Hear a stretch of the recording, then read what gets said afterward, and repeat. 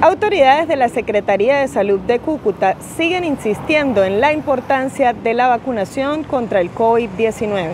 Hoy nos encontramos con un habitante de la ciudad de Cúcuta, quien nos va a hacer la invitación para el proceso de vacunación.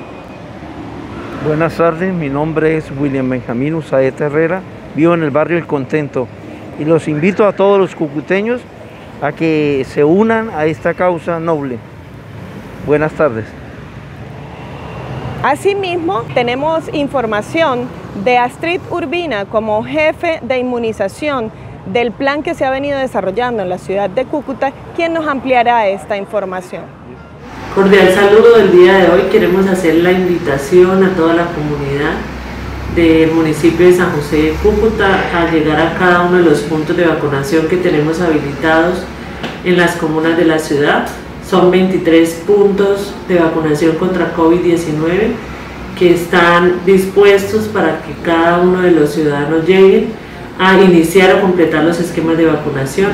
Hay que recordar que todos los niños de 3 a 11 años deben tener mínimo dos dosis de vacuna.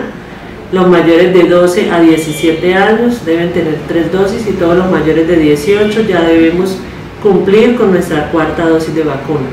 Entonces, eh, Continuamos la invitación para que padres, cuidadores o cada uno de los ciudadanos lleguemos a iniciar y completar esos esquemas de vacunación contra COVID-19. Para Diario del Pueblo reportó María Betina Angulo, la voz del pueblo en la frontera.